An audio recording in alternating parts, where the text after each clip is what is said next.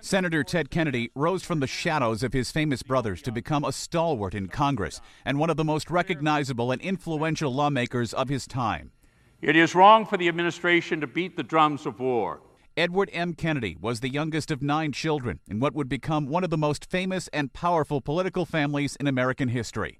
A graduate of Harvard and Virginia Law School, he cut his political teeth helping his older brother, John F. Kennedy, run for president in 1960. Two years later, at the age of 30, he himself was elected to fill the Senate seat his brother had vacated. With that win, the Kennedy family had risen to the top of American politics, having one brother in the White House, another, Robert, as Attorney General, and Ted as a member of Congress. It's a post he would never leave, getting reelected eight times. Although more prominent seats on the Senate floor became available, he never abandoned the desk his brother once occupied. Ted Kennedy helped the family carry on after his brother was assassinated in Texas in 1963. He was severely injured himself the next year when a plane he was in crashed, killing two other people on board. Four years after that, his brother Robert was assassinated while running for president. The weight of the family fell solely on him. My brother need not be idealized or enlarged in death beyond what he was in life. To be remembered simply as a good and decent man who saw wrong and tried to right it, saw suffering and tried to heal it, saw war and tried to stop it.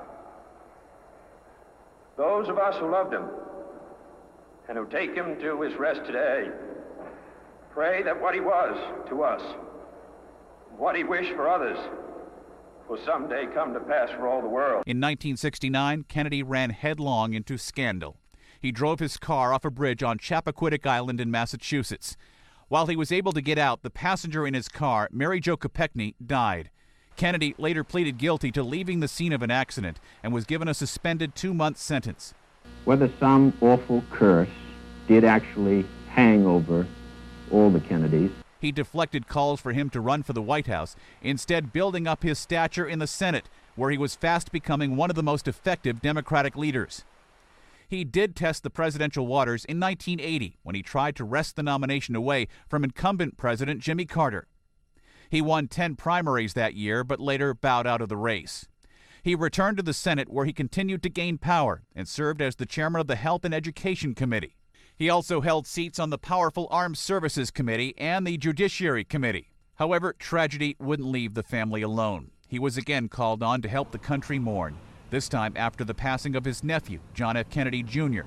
In 2006, Time magazine recognized him as one of America's 10 best senators and stating that he had a record of legislation that affected the lives of nearly every single American.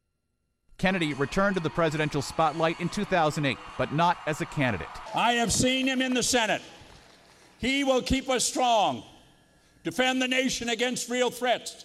He announced his staunch support for fellow Senator Barack Obama. Later that year, he was diagnosed with a brain tumor.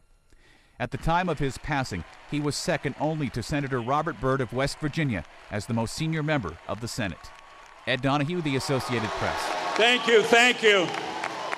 Thank you.